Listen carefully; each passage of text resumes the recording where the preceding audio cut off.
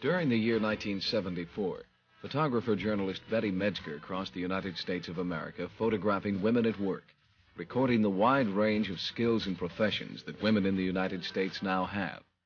Today, three of these women are with Miss Medsger to discuss their work and consider how it has affected their lives.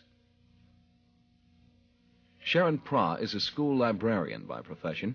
She worked in this capacity at an elementary school in Washington, D.C. until recently, when she and her husband and their two daughters moved to St. Louis, Missouri.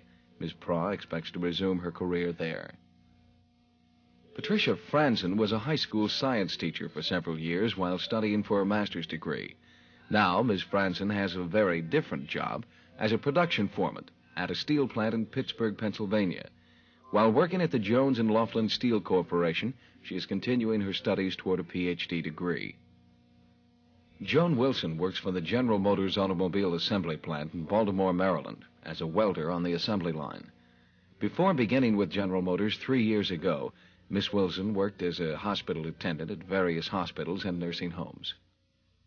Betty Medsger is currently a freelance photographer journalist whose first book, entitled Women at Work, was recently published.